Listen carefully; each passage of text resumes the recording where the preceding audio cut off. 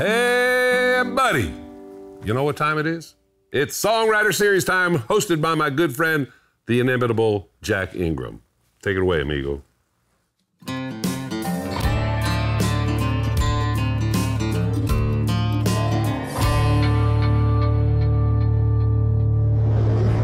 Our featured musician this time is Terri Hendrix. That's San Marcos' own Terri Hendrix. This Renaissance artist is right in the middle of what she calls Project Five, a collection of four albums and a book that she ties together thematically. Joined by her longtime collaborator, Mr. Lloyd Maines, she gives us a sample from her albums Love You Strong and the blues based Slaughterhouse Sessions. My songwriter series is very proud to present Terri Hendrix.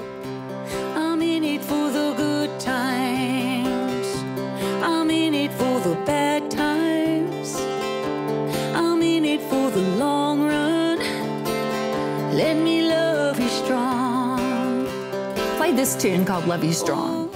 And I was inspired uh, to write that song about my parents. My parents have been married a really, really long time, and they face health challenges.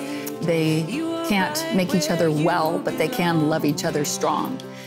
It's just, a, it's been a, a wonderful song to play live. I feel like it helps people that might have obstacles in their own lives to have strength to uh, persevere through them.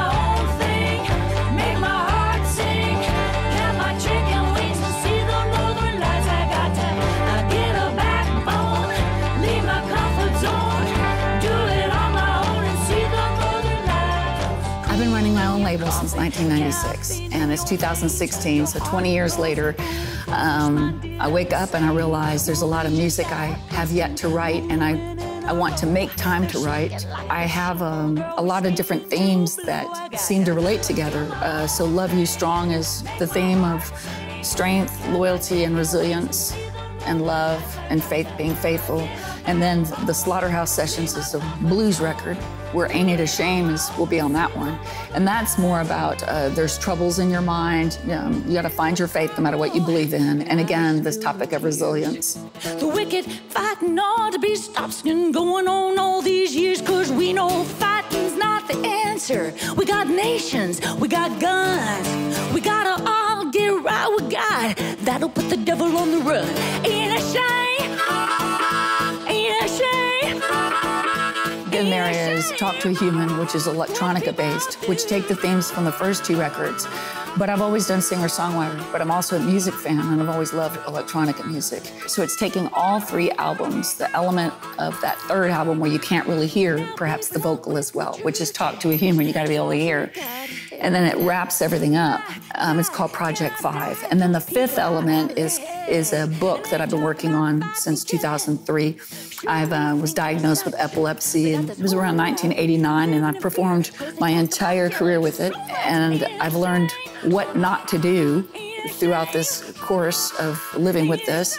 And I've learned what to do. And what to do is to speak about it and to talk about, as a woman living with it, perhaps my own pitfalls and perhaps the things that I've done correctly that could save somebody else um, 20 years of doing it the wrong way. That old Texas star, she's ready to spin. She'll light up the midway at the state fair again.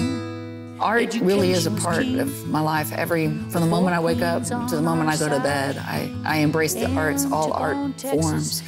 Once I step on stage, I consider music a public service. I feel like it's no longer about me at that point. It needs to be about the people in the audience. So I have a, a job to um, to take people on a journey and hopefully leave them off at a better place than when they came in. The intention to do good through music has to be there. I'm inspired to do the best I can with this life that I've been given and to hopefully affect other lives in a positive manner in the same way my, my own has been, been affected. Stay the